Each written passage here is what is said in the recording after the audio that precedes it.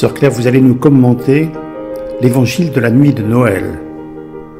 Alors c'est dans Saint Luc, deuxième chapitre, versets 1 à 20.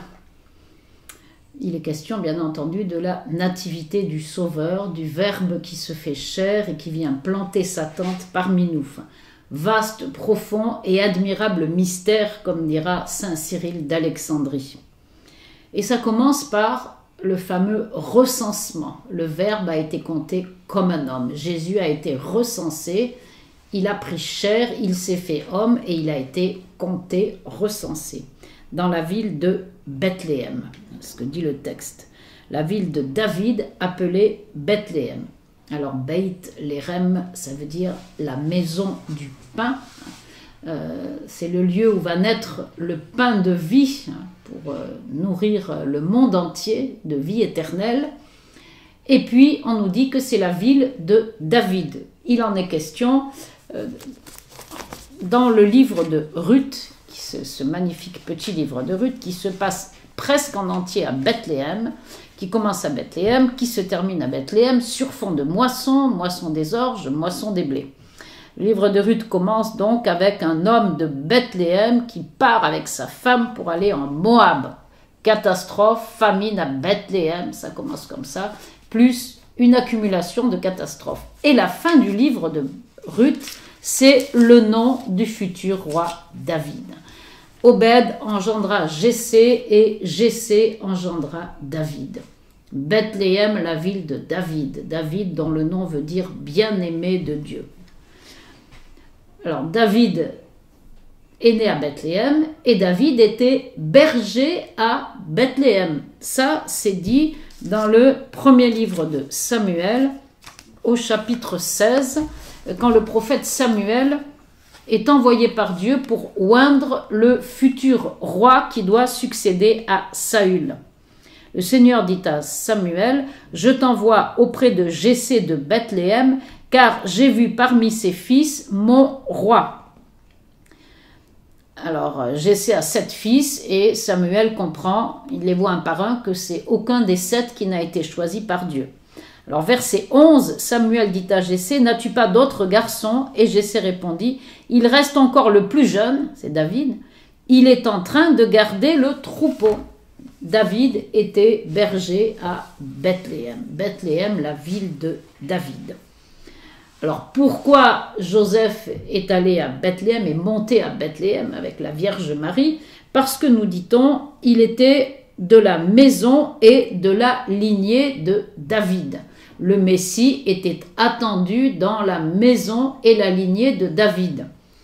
Joseph était fils de David, mais bien entendu, la Vierge Marie aussi était fille de David. Sinon, Jésus ne peut pas s'appeler fils de David selon la chair, comme le dit Saint Paul dans le début de l'épître aux Romains.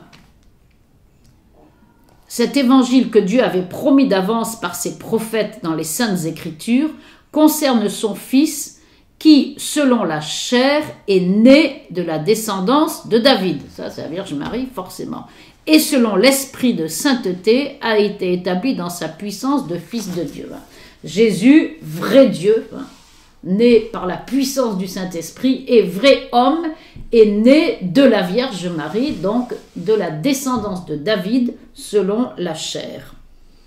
Ensuite, je continue pour euh, commenter un tout petit peu une expression qui passe inaperçue, euh, surtout dans les Noëls populaires. On a un peu fait l'impasse là-dessus parce qu'il y a quand même écrit alors qu'ils étaient là, c'est le verset 6, arrivèrent les jours où elle devait enfanter, ou pendant qu'ils étaient là, pendant qu'ils étaient à Bethléem. On ne sait pas depuis combien de temps ils y étaient, mais n'empêche qu'ils s'y étaient installés. Donc ils avaient certainement une maison. Alors, le texte continue en disant qu'elle mit au monde son fils premier-né, l'emmaillota et le coucha dans une mangeoire, car il n'y avait pas de place pour eux dans la salle commune, nous dit la traduction.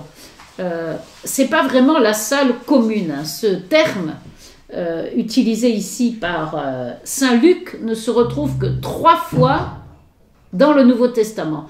Deux fois dans Saint Luc, une fois dans Saint Marc. Alors ici dans Saint Luc, et puis alors les deux autres fois, euh, dans Saint Marc chapitre 14, verset 14, où il est écrit, alors c'est au moment du jeudi saint, hein, Jésus envoie ses disciples, allez à la ville, euh, suivez un homme portant une cruche d'eau, et là où il entrera, dites au propriétaire, le maître te fait dire où est ma salle, où je pourrai manger la Pâque avec mes disciples. Le cénacle, ce qu'on appellera le cénacle. Et Saint Luc reprend lui aussi le même terme pour parler du jeudi saint de la même manière.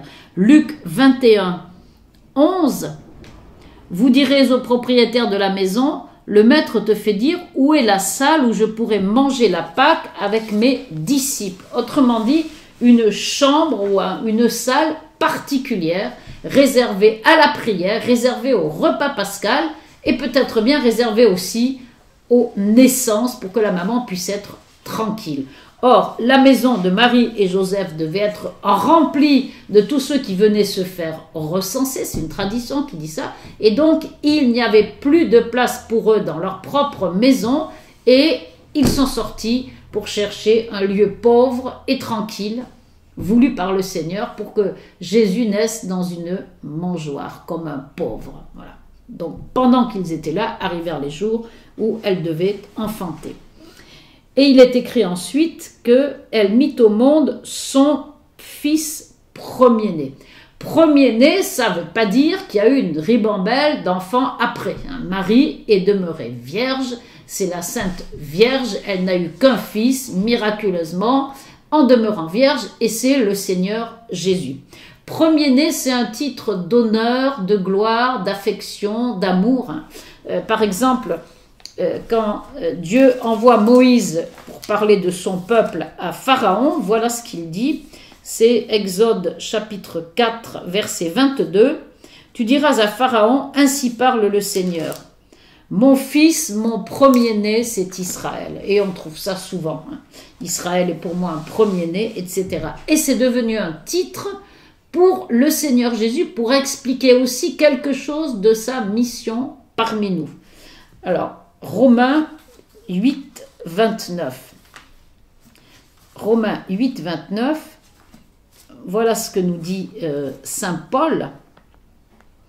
Ceux que d'avance il connaissait, il les a aussi destinés d'avance à être configurés à l'image de son Fils, pour que ce Fils soit le premier-né d'une multitude de frères. Il est notre frère, mais il est le premier-né premier-né d'entre les morts, premier, celui qui passe devant et qui nous demande de le suivre. Voilà, Jésus premier-né. Euh, je continue avec les Colossiens, chapitre 1, verset 17. 18 plutôt, il est aussi la tête du corps, la tête de l'Église, c'est lui le commencement, le premier-né d'entre les morts, afin qu'il ait en tout la primauté. Et puis, dans le début de l'Épître aux Hébreux, chapitre 1, verset 6, à l'inverse, au moment d'introduire le premier-né dans le monde à venir, il dit que se prosternent devant lui tous les anges de Dieu. Jésus est le premier-né. Ensuite, il va être question des bergers hein, qui vont être les premiers à entendre, à recevoir la bonne nouvelle du salut qui est donné les bergers qui étaient dehors et qui passaient la nuit dans les champs. Bon, c'est vrai qu'ils étaient pauvres, ils habitaient dehors, mais euh, en même temps, ils étaient comme David. David était berger à Bethléem, et ensuite ils veillaient la nuit, et ils avaient bien raison, parce que c'est dans la nuit que la lumière a jailli pour nous. C'est la première lecture. Le peuple qui marchait dans les ténèbres a vu se lever une grande lumière, et c'est au cœur de la nuit que l'ange du Seigneur va envelopper les bergers de sa lumière. Première annonce, il n'a même pas besoin de dire quoi que ce soit. Vous êtes dans les ténèbres, je vous apporte une lumière nouvelle. Euh, voilà ce que dit Saint Bernard à propos de cette lumière. La nuit enveloppait le monde entier avant que ne se lève la lumière véritable, avant la naissance du Christ. La nuit régnait aussi en chacun de nous avant notre conversion et notre régénération intérieure. Chaque fois qu'on est dans la nuit, il faut implorer le Seigneur qui est la lumière dans les ténèbres. Donc euh, une lumière qui euh, illumine la nuit, et l'ange leur dit, je vous annonce une bonne nouvelle qui sera une grande joie. Et ensuite, euh, ça va être détaillé. Quelle bonne nouvelle Eh bien, cet enfant qui vient de naître dans la ville de David, c'est un sauveur, il est Christ et il est Seigneur. Il est même un sauveur. Vous êtes né un sauveur, qui est le Christ et le Seigneur. Voilà qui est euh, ce bébé. Premièrement, sauveur. Pourquoi on a besoin d'un sauveur? Parce que nous sommes pécheurs. Il vient nous sauver du péché. C'est ce que l'ange dira à l'annonciation à Saint Joseph, qui est raconté dans Saint Matthieu chapitre 1, verset 21. Elle enfantera un fils, tu lui donneras le nom de Jésus, c'est-à-dire le Seigneur sauve, car c'est lui qui sauvera son peuple de ses péchés. J'ai lu un texte de Saint Cyril d'Alexandrie. Vaste, profond, admirable mystère de notre salut, qu'aspirent si fort à comprendre les anges eux-mêmes. Lorsque, au temps où le Christ naissait, ils, ce sont les anges, contemplaient le mystère de notre salut, ils s'écriaient dans l'action de grâce Gloire à Dieu au plus haut des cieux et paix sur la terre aux hommes qu'il aime. Comment n'eussent-ils pas été remplis d'allégresse en voyant le Sauveur et libérateur du monde naître de la Vierge, ces, ces anges qui jubilent pour un seul pécheur qui fait pénitence. Alors, pour un seul, ils jubilent, alors imaginez le salut qui vient au monde. Alors là, imaginez la jubilation de la nuit de Noël. Imaginez l'éclat, cette immense gloria hein, qui a retenti dans la nuit de Bethléem. Le monde est sauvé, le Sauveur est né. Il est Sauveur. Ensuite, on nous dit Christ, Christ ou Messie. Et euh, c'est celui dont parle la Samaritaine quand elle est en présence de Jésus, euh, Jean 4, 25. La femme lui dit, Je sais qu'il vient le Messie, celui qu'on appelle Christ.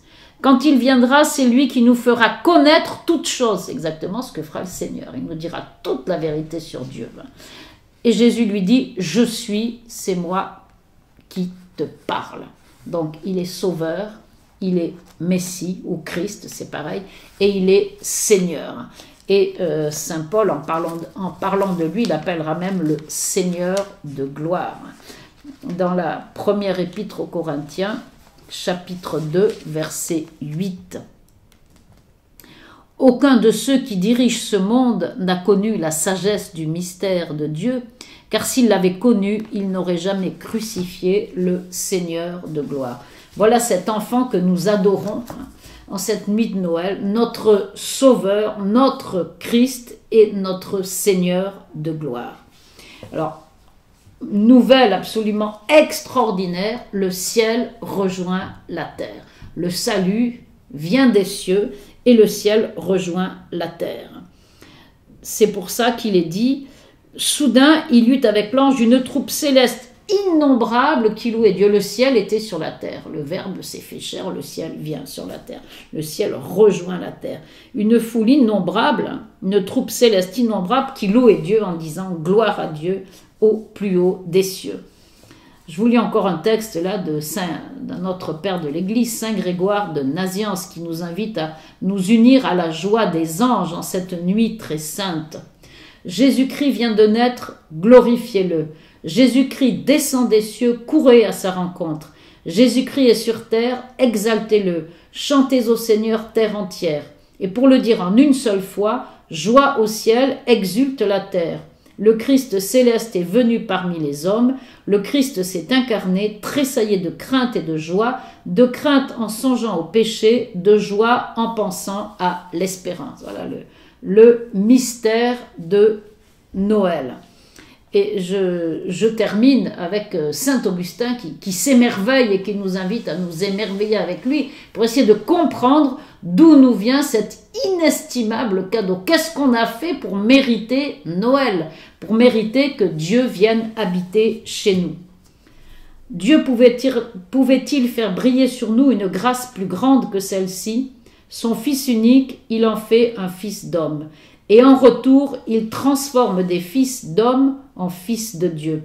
Cherche où est le mérite, où est le motif, où est la justice, et vois si tu découvres autre chose que la grâce. Sœur Claire, merci.